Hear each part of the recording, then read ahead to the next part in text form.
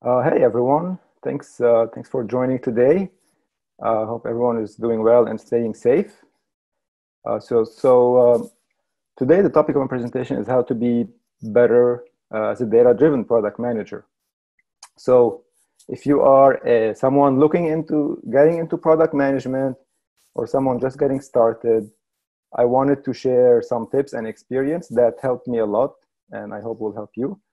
And if you're an experienced product manager who wants to hear some stories and learn something new, then you're more than welcome to, uh, to join and listen. Uh, so a little bit about me. Um, I'm a senior product manager. I worked at Groupon. Uh, I worked at Knowledge U, startup in uh, Lebanon. Uh, I have product management experience in mobile apps and mobile marketing. And I have an undergrad in computer science, and recently I got my MBA. All right. Um, and the agenda for today, basically, I'm going to talk about three things. Uh, first, how you can own your data, what to do to own your metrics and data, which will make your life easier.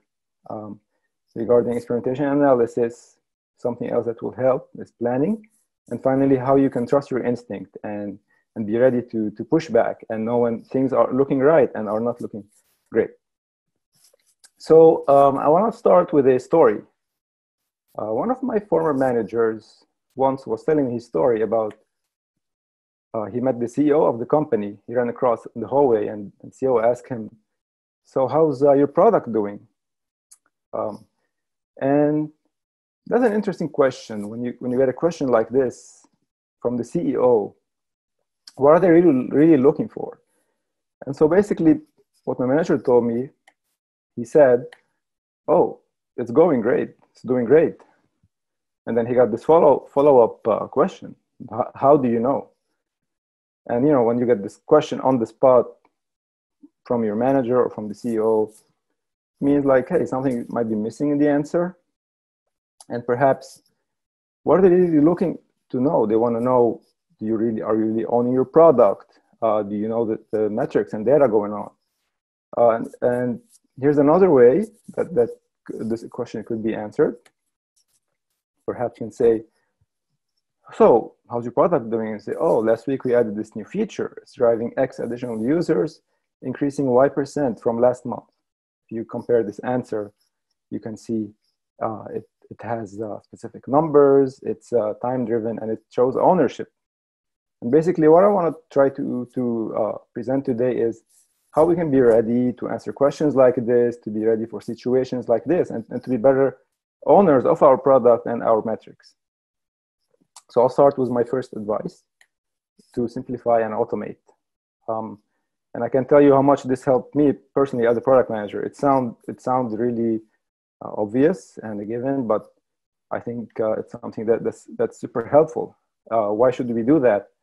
First of all, you will know all the ins and outs. Uh, you will be always familiar with them. Uh, you know all the numbers, and you will be the SME of, of your numbers. Second, when you get familiar with your numbers, when you know what's happening, it's easier to identify opportunities. Uh, this is something from my own personal experience. And at the same time, you can easily spot when something is going wrong and quickly address it. Uh, and finally, another thing that's important also is, you know, when your metrics are automated, uh, when it's easier to access, a lot of time will be will be uh, will be freed up to focus on on important tasks. Um, and you don't want to be spending every day one or two hours finding your metrics and and uh, really wasting time that could be spent on customer research or on launching features or, or meeting with, with engineers. And finally, be comfortable asking questions like the one I just uh, showed you, the story I just told you about. Uh, and how, how there, here are some ways to do it, and I'm sure that there could be others, but th- these are some things that help me personally. First of all, identifying what are the main sources and dashboards, um, and if they're not available, create them or become friend with, with the BI team and see if they can help creating them. Uh, and look if your company uses Tableau. Uh, there are also other tools like Chartio, Looker, even Google Data Studio. I found that was a very simple tool. Uh, if, if you want to build something quick and easy that helps you get what you want. Um, and also uh, having logging and monitoring tools uh, even looking at these tools from, from engineers could be helpful. That's number one. Every morning, you know, when you have all your dashboards or your metrics ready, spend 10 to 15 minutes every morning reviewing, uh, getting yourself familiar with it, uh, making sure everything is good. Maybe up to half an hour, but no longer. You don't want to spend too much time on this. You just want to make sure you're familiar with what's going on and focus on what is the most important for your product because when you when you are looking at your day to day really what you care about is what is the most important and if something does not look right or you want to look into something more then it makes sense to dive deeper and and to understand what's going on uh, but if you if you add too many metrics or if you add too much information upstart it might consume a little bit too much of your time uh, and, and might not be uh, too productive initially uh, and, and one tip I, I can i can share is when you're starting a new pm role uh, joining a new company or even if you're owning a new product you will have an initial uh, number of days to learn, maybe the first 15 days, maybe the first 30 days. And one way that uh, you can help speed up that process is spend some of these days on setting up these dashboards and these metrics. Uh, first, it will help you do this upfront. And second, you will learn about this product much faster. That, that's a tip. Now, moving on to the next uh, my next advice is how to be better at experimentation. And just to be clear, I'm not going to explain how A-B test works or what are the details. I just want to share some uh, a tip that helped me become better at it. Um, and basically, this tip is planning, planning ahead. Uh, and by planning, I don't mean sophisticated uh, st statistical statistical planning. Uh, it can it can be something super simple. Uh, first, can be a one-page plan where you can explain how you're going to do this experimentation or analysis. And second, explain what success will look like. And finally, explain what to do in case of success and failure. Uh, th this was one of the uh, things I, I, learned from Groupon and I found super useful. Um, and, and why do you want to do a plan? Number one, having a plan helps, helps your uh, uh feature future launch to be in check. You have a plan, you know what's going to happen if in case of success, in case of failure.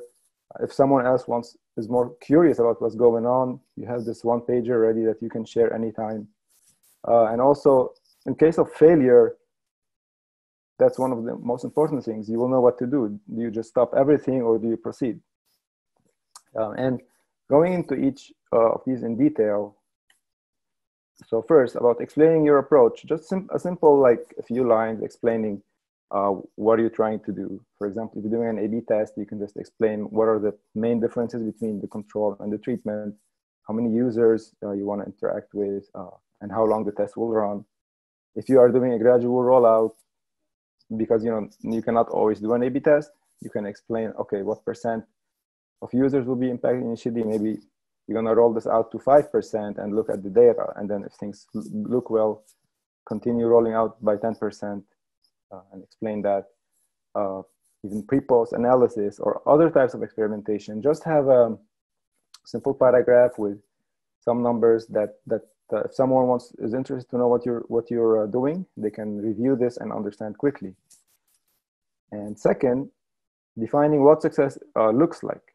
Uh, and I think this is very important because you can say a feature, for example, will improve the buyer conversion rate. And that, that's, I mean, that's okay. You're, you're saying what it will do, but it's not really, but it's missing something. Uh, it's, it's vague. It's really vague and gener generic. Um, and it's better to, to be more specific and have uh, be more be and measure be more measurable. For example, you can say this feature will increase conversion rate by 5% and will bring $100,000 in revenue annually. Uh, having this, uh, this uh, SMART goal, at least, will, will you, can, you can see like if, if your uh, experiment or your analysis shows an in increase by 3%, is this still close enough to the goal? Uh, and should, should you proceed with it? Or if, it, if it's higher than that, then, then what to do? Or if it fails? So it's good to define success and, and even if it's like one line or two lines and it's also good to to be specific in what success looks like. And I, and I am aware that it's not always possible to be very specific because uh, if it's a new product or if it's uh, just a customer test or customer interview, but at least having some level of, of uh, specificity or, or some level of, uh, you know, of, of what we're trying to, what, what we want success to look like can, can be at all helpful. And finally, how to address success and failure. And basically here, in this example, uh, I, mean, I use a decision matrix. Uh, for example, maybe you have two metrics for success and failure. And this matrix helps, helps to, to, to see what to do in each scenario. Uh, if something is successful, metric one and metric two, then go ahead and roll this out to everyone. Uh, if metric one fails, but metric two is successful, metric one is more important than stop and review what to do and, and uh, evaluate. And it doesn't have to be like this format. It can be a table, it can be uh, something else, but, but it's good to know in advance. For example, what if the experiment is a failure and we, we, do we want to reevaluate? Do we want to stop everything? What if the numbers don't change at all? Then what do we want to do in this case? It's good to know in advance and, and think about what, what, what, uh, uh, how, how do we want to approach success or failure? Do we want, even if something is successful, is it successful as much as we want and do we want to continue or expand further? Um, and a few tips also about experimentation. I mean, keep it simple. We, we are product managers. Our goal is not to be statisticians. Uh, it's uh, unless your company, you know, has specific policies. Uh, unless you work in an industry where having having very very specific uh, or more sophisticated plans is uh, is necessary. I would say to keep it simple uh, and just focus on the most important things. Um, beware of, of analysis paralysis. Remember, this is just a, a blueprint or, or guideline to see what, what to do in, in cases. You don't want to go too deep. You don't want to spend too much time on this and, and try to um, and try to to uh, uh, you know. I mean, I, mean, I think uh, like you, you know what I, what I mean. Like, try to get to the smallest of the details just think about 80-20 rule. And also be careful of oversimplifying, of being too vague and too generic, because this can also be a trap. And finally, it's something more that you do in your free time, but uh, when, when writing experiment, make sure you are using proper convention, make sure you are using the right wording, uh, uh, understand what each, what each number, what each uh, number means and, and how to express it. Not saying, again, not saying uh, to be very detailed, to, to speak like a statistician, but but knowing what to say because someone who understands experimentation, someone who, if you if uh, someone understands how things work, and and you say something in the wrong way, then it could be uh, appear as a yellow flag. And um, finally, for for my uh, last advice, to trusting your instincts with data. Um, you know, data helps to make decisions on products, to helps to make decisions on features, but sometimes it's it's not always the case. Um, sometimes the data will not make sense. Your metric uh, is a little off of the charts, or too high, or too low, or looks looks weird. Sometimes it's possible you, you make a mistake, um, and and data doesn't would not look look right. Uh, confirmation bias is something that uh, I, I, saw a lot, uh, something that I ex experienced a lot. I even made some, some, some of my own mistake. Uh, and finally, sometimes you don't have the luxury of the data. Um, maybe you're launching something completely new and, and where there's very few uh, customers or like an MVP and, and the data might not be available for you. So it's good to, to you know, uh, address this in, in, very different ways. And here, what I'm sharing my own experience, what I do in these situations, and of course, others might have other experiences, or or in your own experience as a PM, you might come up with new things.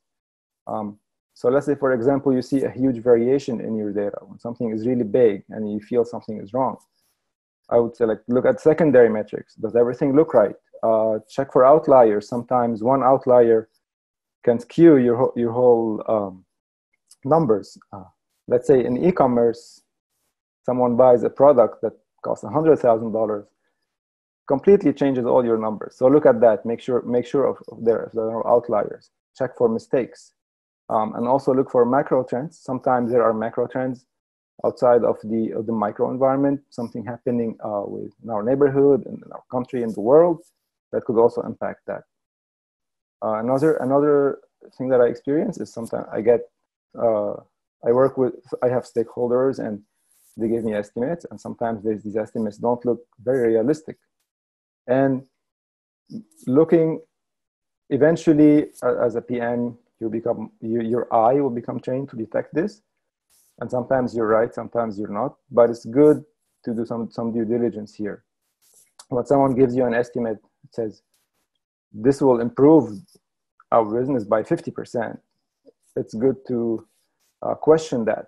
Uh, you can hey can i please see the model? Can i take a look at the model? Can we do a quick test uh, a quick mvp to verify this assumption? You don't want to spend months building something only to realize that it does not really drive numbers this this, this well. Uh, and also wear the customer had think hey if i'm a customer if i see this change or if, if i see this feature will it really make me do, do what it's supposed to do uh, wear the customer hat and, and try to question these assumptions and, and question uh, what you see.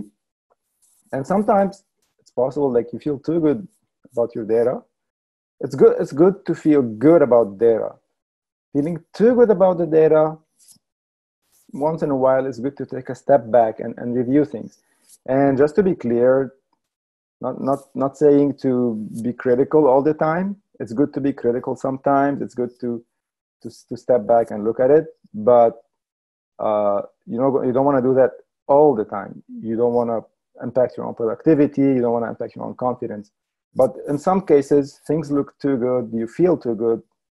Think about hey maybe i want to do a, a due diligence. Want to go a step back look make sure everything is good before i go and and uh, publish this to everyone and let everyone know about it or, or send this to customers um, and, you know, as I was saying, with your product management experience, the more you get exposed to your metrics, the more you get exposed to how customers behave, you become trained at this. Um, doesn't happen overnight.